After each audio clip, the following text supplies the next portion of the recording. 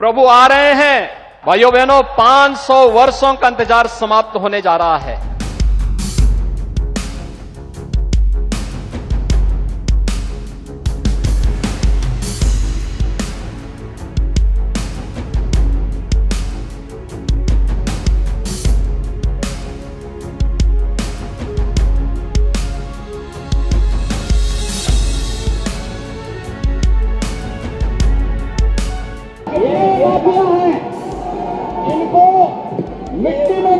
काम करेंगे अब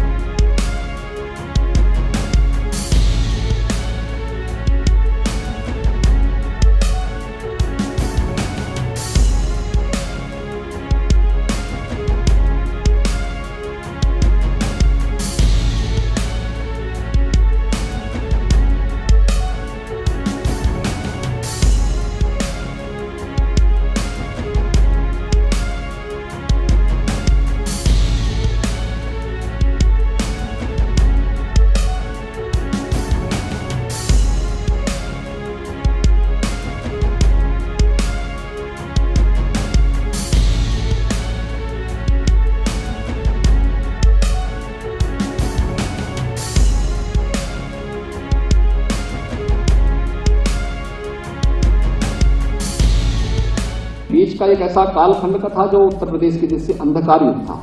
तो अब ये अंधकार युग से केवल सरकारी नहीं उभरी है, इन विद्यालयों को भी उभारना पड़ेगा।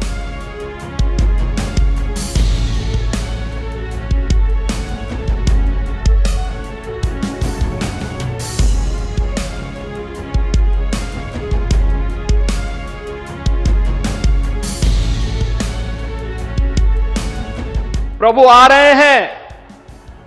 और 22 जनवरी को आदरणीय प्रधानमंत्री जी के ही कर कमलों से प्रभु अपने भव्य मंदिर में विराजमान हो रहे हैं।